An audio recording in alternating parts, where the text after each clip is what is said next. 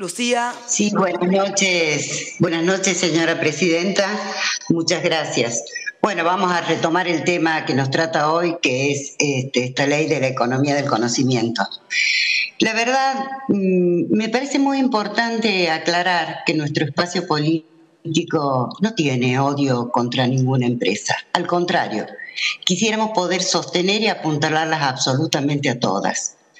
Sería bueno que reflexionemos si cuando asumió el gobierno el presidente Fernández, cuáles eran las condiciones del país y qué incertidumbre tremenda teníamos de ver cómo íbamos a reestructurar nuestra deuda y cuánto de nuestros recursos debían ir o debían destinarse a pagar esa deuda. Tal vez ese haya sido uno de los motivos por el cual esta ley tuvo que esperar un poquitito. También me parece que es importante que reflexionemos que si no nos gusta que haya una Cámara Revisora, debiéramos reformular el funcionamiento del Congreso y decidir que sea unicameral. Porque está bien que la hemos trabajado en diputados, está bien que nos hemos puesto de acuerdo, pero también hay que aceptar, porque todos los días nos piden que acatemos las normas, que el Senado es Cámara Revisora y por lo tanto está en toda su potestad de revisar el proyecto y devolvérnoslo. Yo a veces, este, y sobre todo escuchando eh, a los diputados, eh, pienso qué difícil que es cuando dicen que es urgente esta ley, pero que no la van a aprobar.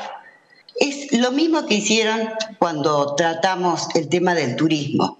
Era urgente, pero no la acompañaron porque no era exactamente como querían hacerlo.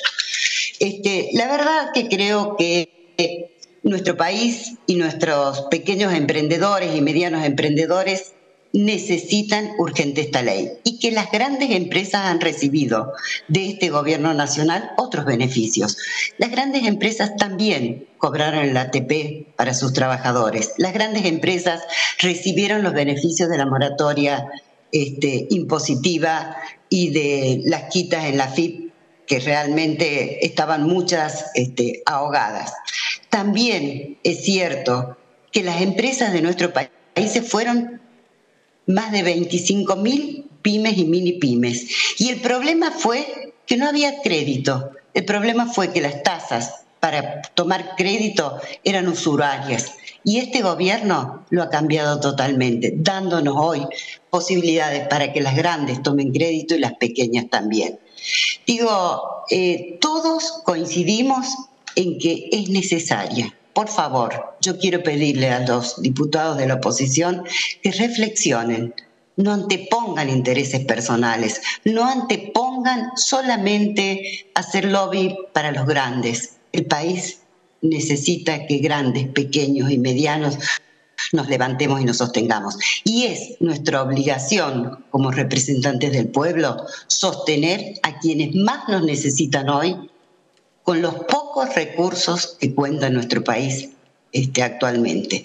Por eso me parece que es muy importante la revisión. Tal vez a algunos les moleste que si hay trabajadores no registrados se caigan del sistema, que si despiden trabajadores se caigan del sistema, si utilizaron prácticas fraudulentas para entrar y, y gozar de estos beneficios se caigan del sistema. A nosotros no, porque esta ley, por sobre todas las cosas, está hecha para cuidar los puestos de trabajo, para incentivar trabajo digno para más argentinos. Muchísimas gracias, señora presidenta.